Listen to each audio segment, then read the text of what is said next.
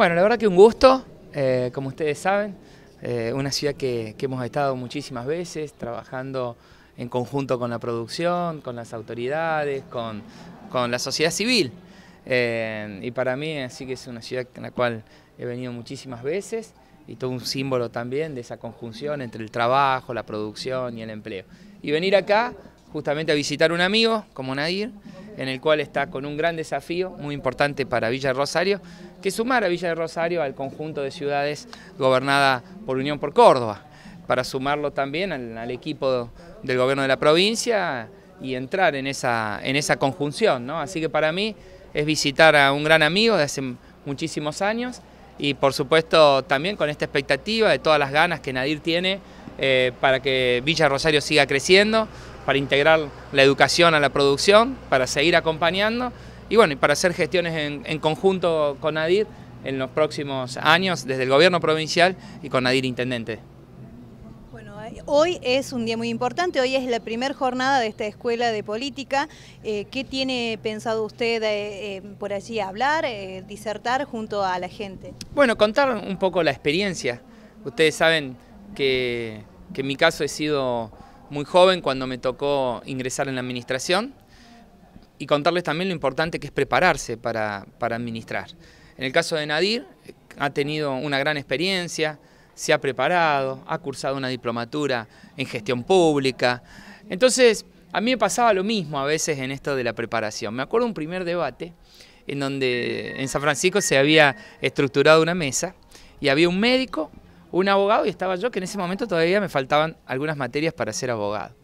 Entonces preguntan, ¿no? Dicen, bueno, ¿qué opinaba? Me miraban a mí como que no era profesional, ¿no? Decían, usted que no es profesional, eh, ¿cómo siente esto de no ser ni médico ni abogado? Y le digo, miren, la verdad que si yo necesitara alguien que me defienda en un juicio, buscaría un abogado. Si necesitaría alguien que me atendiera por un problema de salud, necesitaría un médico. Pero el único profesional soy yo, porque soy el único que he estudiado dos años la ciencia y el quehacer de la administración.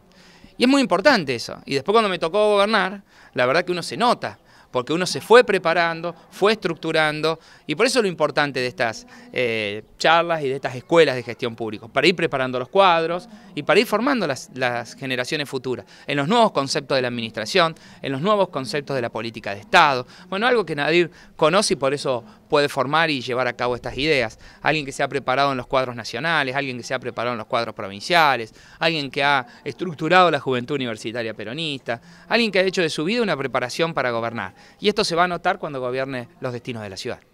Justamente estamos hablando de nuevos tiempos, nuevos tiempos políticos, en donde es común ver a vecinos que de repente no han incursionado antes en la gestión pública, ni tienen mucho conocimiento de cómo es el manejo, que después pasan a ser candidatos. ¿Cómo ve usted eso? Bueno, yo creo que es siempre importante formarse. Eh, lo veo primero muy bien que los vecinos se sumen a la participación política, porque la verdad lo que eh, yo creo que la política es un arte esencial y una de las maneras que tenemos de resolver nuestros problemas diarios. O sea que siempre todo aquel que quiera participar, que quiera venir, que quiera sumarse, sumar a mejorar, bienvenido sea. Pero también lo importante es prepararse, para que justamente uno cuando se prepara, estudia ¿eh? y va adquiriendo experiencias, tiene más probabilidades en el momento de tomar decisión de acertarlas. Porque si no, ¿para qué uno estudia las carreras? Sino la verdad que sería bueno sumarse y participar alegremente de la medicina, sumarte y participar alegremente de la abogacía, y la verdad que no hay que relativizar la política, porque administrar un municipio, una provincia, una nación necesita de preparación. Y no es que lo diga porque lo digo, sino porque así lo he tomado toda mi vida y porque creo que ha sido muy importante para mí primero prepararme, haber sido funcionario, después haber sido concejal. Es más, me decían cuando era concejal, ningún concejal llegó a ser intendente. Bueno, por primera vez en San Francisco hubo un concejal que fue intendente. Y después prepararme también desde la intendencia, una ciudad productiva muy parecida a, esta hermosa ciudad, donde se vincula la producción primaria, la industrialización de la, ruralidad, con clúster productivo específicos, como es el clúster acá increíble del mueble, que nos hace sentir orgullosos a todos los cordobeses siendo una potencia del mueble de Argentina, y como son todas las otras variables vinculadas a la industria. Bueno, para eso es necesario vincular la educación, la industria, complementarla con la obra y el posicionamiento que la ciudad tiene que tener. Y por supuesto, la gestión es constante. ¿Y qué mejor que en un gobierno justicialista como el que vamos a tener, tener un intendente amigo para poder trabajar de una manera mucho más conjunta y mucho más allegada.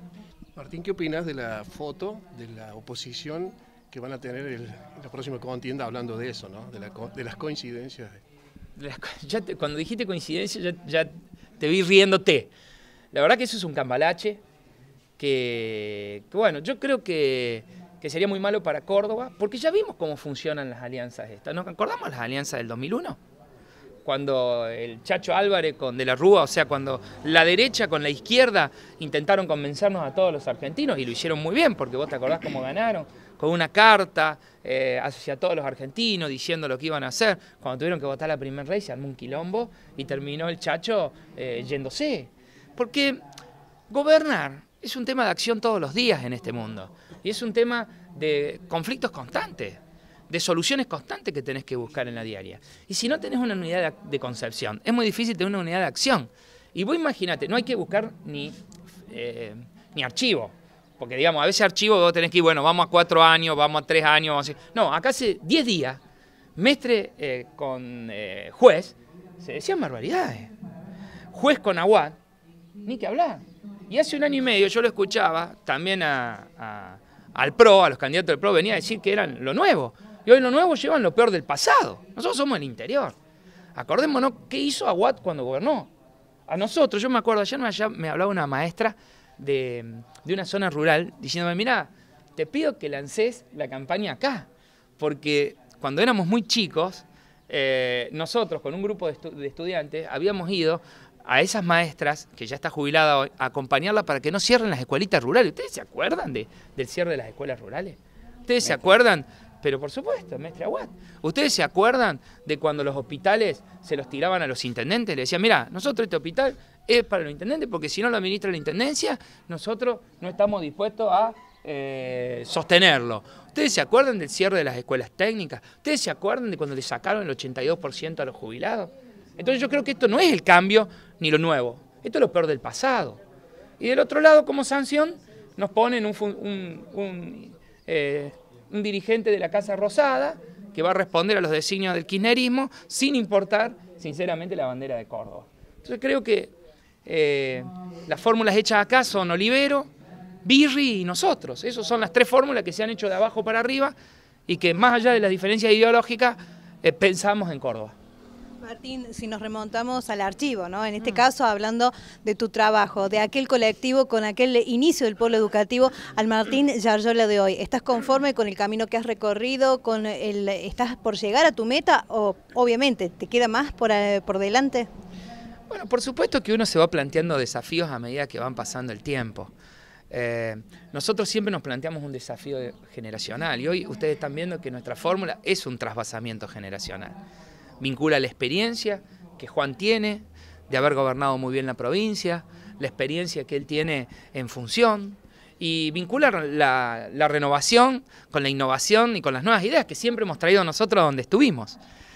Y con la unidad de dos hombres de gestión, de muy fuerte gestión, de una impronta eh, en esa característica. Eso le garantiza a los cordobeses la seguridad de poder seguir continuando, de poder seguir creciendo, de que vamos a, continuar con los cargos, eh, eh, digamos, con, con, eso, con esa política que nosotros venimos, venimos haciendo y venimos trabajando en ese sentido.